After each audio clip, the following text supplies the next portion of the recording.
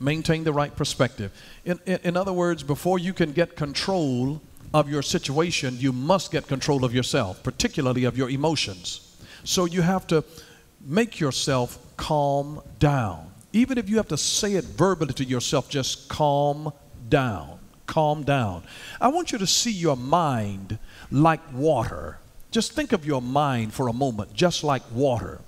Do you know how when water is agitated, it becomes difficult to see through water that's moving?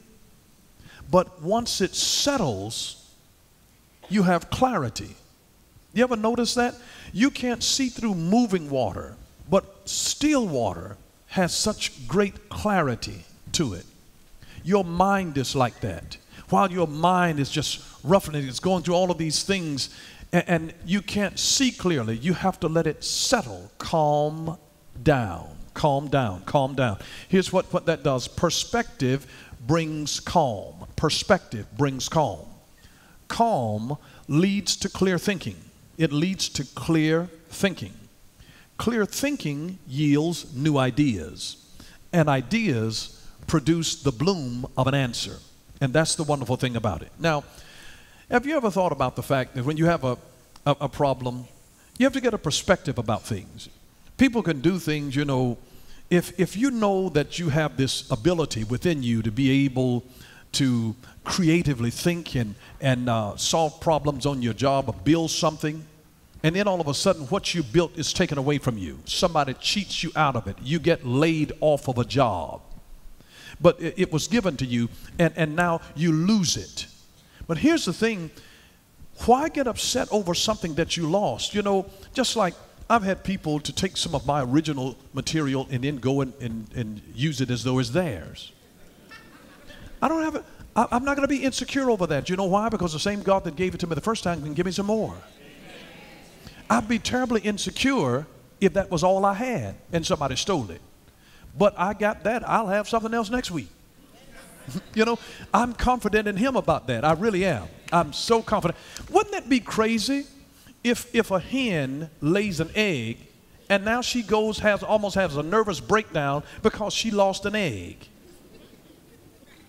she knows that even if somebody comes and takes that egg, uh, you know, a little while later, she's going to lay another one. Do you realize that when you are gifted and when you are creative, that the same way that you drop that egg, God will drop the egg of another idea in you? Do you realize that if you built something one time, you can build again? That if God gave you the grace to do this, He'll give you that grace. That gift is in you. You've not lost anything. People cannot take away who you are. You are the gift. You are the wealthy place. You don't have to think about somebody taking away something. They have no capacity to take away your real gift. You are the gift. They can steal your eggs all you want, but there's another egg that's coming from after that. You know, a few more days and they'll be laying some other eggs. So don't worry about some eggs that get lost in the process and some eggs that get broken. And I see people that have a whole pity party and want to go down and, and file law, lawsuits over cracked eggs. But you're going to have, you'll lay another egg. God will give you another idea. God will give you another job. God will give you another business. He, I'm, I'm, just telling you, He'll give you another money maker.